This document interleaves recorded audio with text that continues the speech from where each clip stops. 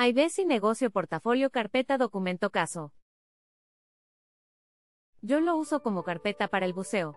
Pero independientemente de eso, echo de menos algún compartimento lateral más y al menos una ranira de tarjeta. Aguanta bien el agua, la sal, la suciedad. Se limpia fácil. La cremallera no cierra al 100% así que se sale en los bolígrafos, a excepción del único que está atado.